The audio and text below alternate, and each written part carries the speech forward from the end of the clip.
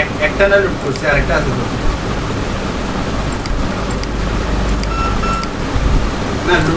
Hello viewers, কেমন আছেন সবাই? আশা করি সবাই ভালো আছেন। টাইমস পাবলিকেশনের ওয়েব ডিজাইন বাংলা টিউটোরিয়ালে আপনাদেরকে স্বাগতম। তো আমরা গত পর্বে ডোমেইন কীভাবে ক্রয় করতে হয় আমরা সেটা দেখেছি হোস্টিং কীভাবে ক্রয় করতে হয় সেটা দেখেছি, এবং ডোমেইন এবং হোস্টিংয়ের বিল কীভাবে অনলাইনে পেমেন্ট করতে হয় আমরা সেটাও দেখেছি। তো আমরা আজকের পর্বে আমরা দেখব কীভাবে আমরা হোস্টিং সি প্যানেলে আমরা কীভাবে একটি ওয়েবসাইট ওয়েবসাইট আপলোড করে অনলাইনে পাবলিশ করতে পারি আমরা আজকের ভিডিওতে সেটা দেখব। তো ভিউয়ার্স বেশি কথা না বাড়িয়ে চলুন শুরু করি আমাদের আজকের ভিডিও।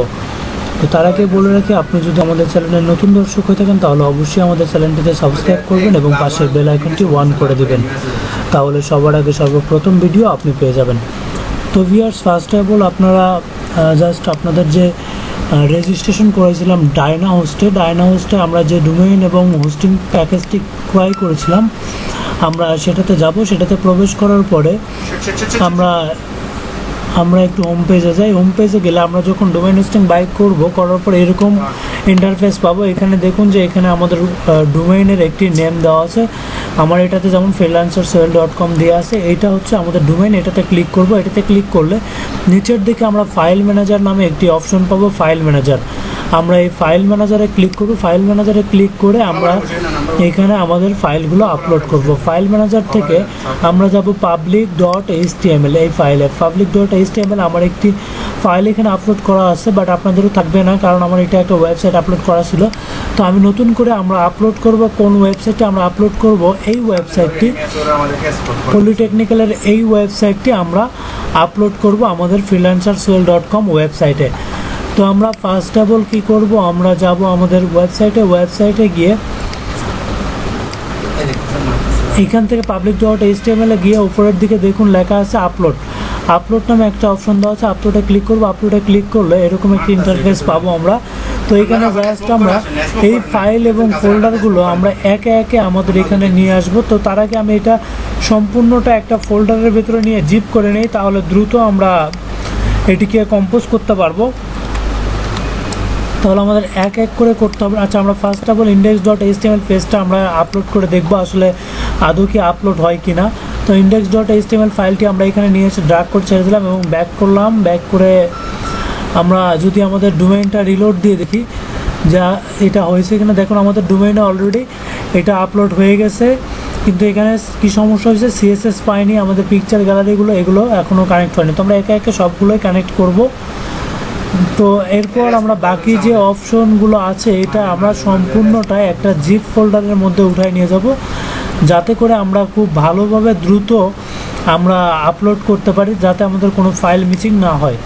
তো আমরা আবার এই জিপ করা যে ফাইলটি এবার সেটি আপলোড করবে। জিপ করা ফাইলটি আমরা নিয়ে আমরা আপলোড করে দিব। তারপরেও আমরা সি প্যানেলে যাব। সি প্যানেলে এখান থেকে আপলোড অপশনে যাব এবং জিপ করা যে ফাইলটি আছে এই ফাইলটিকেও আমরা নিয়ে এসে আমরা ড্রাগ করে এখানে ছেড়ে দেব। তো এটা আপলোড হয়ে গেলে আমাদের সম্পূর্ণ ওয়েবসাইটটি আপলোড হয়ে যাবে। এটা আমরা যখন আপলোড হয়ে যাবে জাস্ট এটাকে আনজিপ করে দিব তাহলে আমাদের ওয়েবসাইটে এটি রান হয়ে যাবে। তো জাস্ট এটাকে আপলোড হওয়া পর্যন্ত আমরা একটু অপেক্ষা করব। তার আগে আমরা আরেকটি কথা বলে রাখি আমাদের টাইমস পাবলিকেশন এই ইউটিউব চ্যানেলে আপনারা সম্পূর্ণ ওয়েব ডেভেলপমেন্টের সকল প্রকার টিউটোরিয়াল আপনারা এখানে পাবেন সম্পূর্ণ ফ্রিতে। আপনাদের কোনো পেইড কোর্স না এটা সম্পূর্ণ ফ্রি একটি কোর্স ওয়েব ডেভেলপমেন্টের এটি থেকে আপনারা সম্পূর্ণ ওয়েব ডেভেলপমেন্ট শিখতে পারবেন খুব সহজেই। তো আমাদের এখানে মোটামুটি মেবি আপলোড এটা হয়ে গেছে দেখুন একশো পার্সেন্ট হয়ে গেছে আমরা আবারও ব্যাক করব। গো টু ব্যাক অপশনে ক্লিক করব করে আমাদের ফাইল মানে যাব। এখান থেকে যেটা এখানে জিপ করা আছে এটাকে আমরা আনজিপ করে দেবো। এটা এটাকে আমরা আনজিপ করে দিব। জাস্ট স্ট্যাকে ক্লিক করব স্ট্যাকে ক্লিক করলে এটা আনজিপ হয়ে যাবে। তো দেখুন, এখানে ফাইলগুলো সম্পূর্ণটা আনজিপ হয়ে গেছে। এখন যদি আমাদের ওয়েবসাইটে রিলোড দেয়, দেখুন সম্পূর্ণ একটি ফুল কমপ্লিট ওয়েবসাইট এখানে শো করছে। তখন আমরা যদি এই ওয়েবসাইটের ডোমেনটি লিখে যে কোনো জায়গায় সার্চ দেয় ফ্রিল্যান্সার সোয়েল ডট কম যে কোনো ব্রাউজারে তাহলে আমরা এই ওয়েবসাইটটি দেখতে পারব। তা হচ্ছে, এখানে দেখুন, আমরা তথ্যতে ক্লিক করতেছি, কারণ এখানে কোনো পেজ নেই, যার কারণে এটা নট ফাউন্ড দেখাচ্ছে। এখানে বাকি যে পেজগুলো আছে, এগুলোতে কোনো পেজ অ্যাড করা হয়নি, যার কারণে নট ফাউন্ড দেখাচ্ছে। তো আমরা এই এই ডোমেইনটি লিখে যদি আবারও সার্চ দেই, অন্য একটি ব্রাউজারে নিয়ে, অন্য একটি ব্রাউজারে গিয়ে আমরা সার্চ দিচ্ছি, দেখুন, এই ব্রাউজারেও ঠিক সেম আমরা ওয়েবসাইটটি দেখতে পারব। তো দেখুন, এখানে ওয়েবসাইটটি সম্পূর্ণটাই শো করছে। তো আমি আপনাদের আমার এই ভিডিও ডিসক্রিপশনে ডিসক্রিপশনে গত পর্বের ভিডিওগুলোর লিঙ্ক দিয়ে দেবো, যেখানে আমাদের এই কমপ্লিট করা ওয়েবসাইটগুলোর লিঙ্ক দেওয়া আছে, আপনারা সেখান থেকে ডাউনলোড করে নিতে পারবেন। তো ভিউয়ার্স এই ছিল আমাদের আজকের ভিডিও পরবর্তী ভিডিওতে আমরা দেখব কীভাবে ওয়েব মেইল ক্রিয়েট করতে হয়, আমরা সেটা দেখব। ওয়েব মেইল কি? ওয়েব মেইলটা হচ্ছে আমাদের ডোমেইনের সাথে রিলেটেড একটি ইমেইল সেটাকে বলা হয় ওয়েবমেল আমরা পরবর্তী ভিডিওতে ওয়েব মেইল ক্রিয়েট করা দেখব। তো ভিউয়ার্স সেই পর্যন্ত, ভালো থাকবেন, আল্লাহ হাফেজ।